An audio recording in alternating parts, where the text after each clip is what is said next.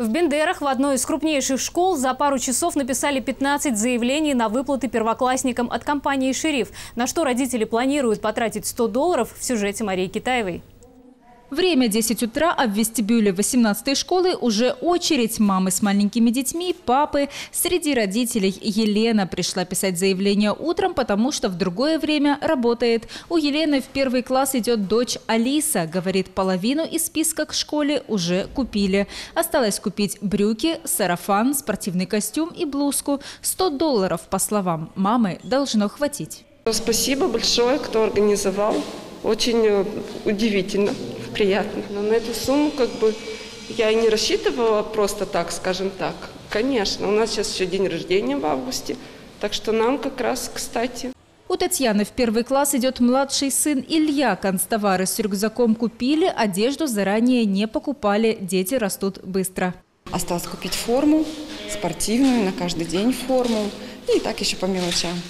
100 долларов, по-вашему, на что может хватить? На спортивную и на ежедневную форму, конечно, а, на какие-то тетради, конечно, на канцтовары. Даже, мне кажется, еще и останется.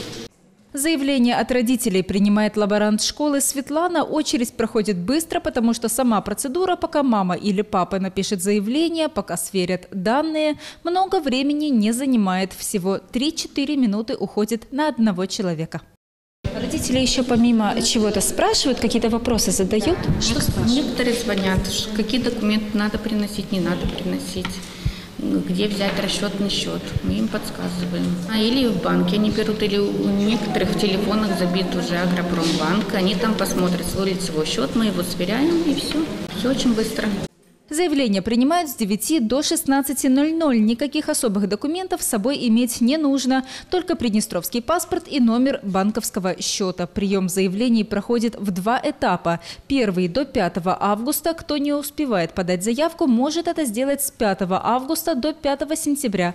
Но тогда и выплата придет на счет позже. Родители, которые еще не записали ребенка в школу, могут сделать все сразу. В это же время с 9 до 4 они могут прийти, написать заявление в первый класс, и одновременно с этим они могут написать заявление на получение единовременной компенсации.